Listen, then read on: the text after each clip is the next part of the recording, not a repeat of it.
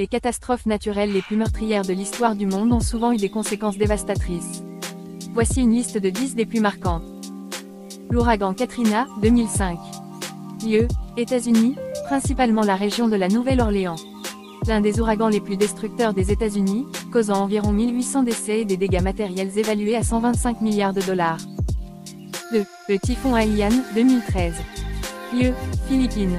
L'un des typhons les plus puissants jamais enregistrés, causant environ 6300 décès et des destructions massives. 3. L'éruption du Vésuve, 79 après Jésus-Christ.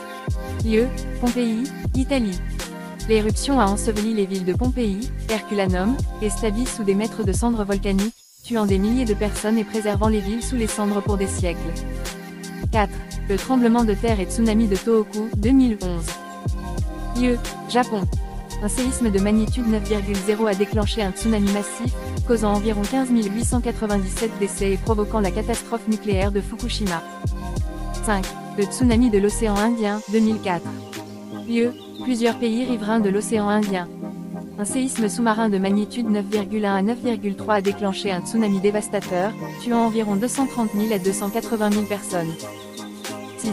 Le cyclone de Bola, 1970. Lieu, Bangladesh, Pakistan oriental, et Inde.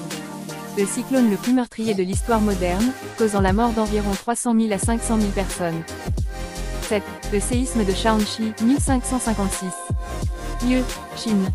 Considéré comme le séisme le plus meurtrier de l'histoire, il a tué environ 830 000 personnes. Ces catastrophes ont marqué l'histoire par leur ampleur et leur impact sur les populations et les environnements locaux.